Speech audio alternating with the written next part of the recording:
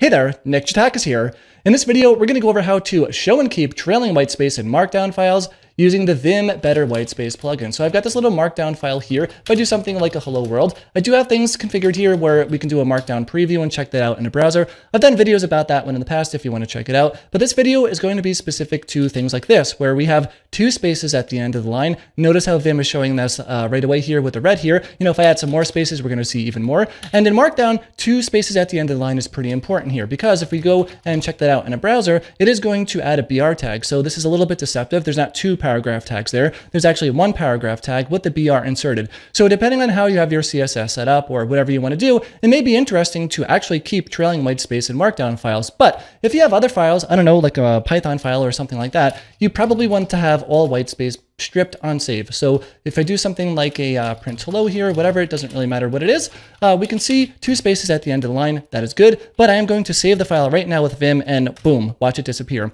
So we do have the white space being stripped out on every other file except for Markdown. And of course, there's other you know file types like diff or something where you may want to have this same effect here. But right now, I just have it applied to Markdown. You can modify this really easily. easily. So in this video, we're going to go over how to configure the Vim Better Whitespace plugin to get this to work. So this all starts with the vimrc file here, and uh, you will need to install the Vim Better Whitespace plugin. This is available on GitHub if you go to github.com, and then you go to this address here. Now, I'm using Plug to install it. Feel free to install it however you like. But yeah, if we go to the configuration of this plugin here, there's a couple of settings that are pretty interesting. So uh, it can potentially confirm where you need to hit yes or no if you want to strip that whitespace. I don't want that confirmation because uh, I want to just have it happen without having to hit yes every single time I save a file. But I also do want it to happen on every time I save a file file. So if you don't want to do that and you want to run the command manually to do it, you can absolutely do that if you'd like. I just like to have it happen on save here. You can also strip new lines at the end of the file. Like if you have a whole bunch of different line breaks, then it can strip that out as well. I prefer that in our non-markdown files as well.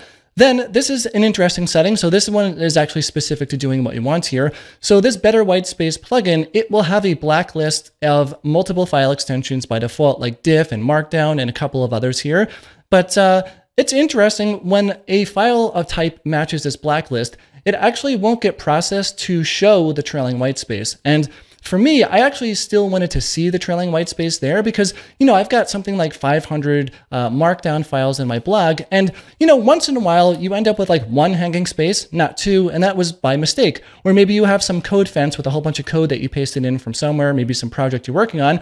And I don't know, there's just like a whole bunch of different like spaces after some line like this here. I want to be able to see that to get rid of that. You know, it doesn't really affect the output that you can see visibly, but still, you know, these are things that I just don't want to have lingering around in my code base. So you know, this idea here of having the default blacklist with all the different extensions that this plugin did by default didn't really work for my use case here. So, you know, that setting here, you can set that to an empty list. And then the, the real like hero of this one here is uh, there's an auto command that you can set here to disable strip white space on save just for markdown files. And if you want to have different file types here, like diff or whatever, you can totally do that. Uh, but yeah, this auto command here for markdown files is going to disable stripping and unsave. And that gives us the best of both worlds. We can actually see the white space here. And then Thanks to this setting here, it is not going to be stripped on save. But yeah, I added this to my dot files recently, pushed it up there. I'll leave a link to that one if you want to check it out. So with that said, if you have any questions, let me know in the comments below. I'll do my best to answer all of them. Thanks a lot for watching. Please give the video a thumbs up because it really does help a lot. And I will see you in the next video.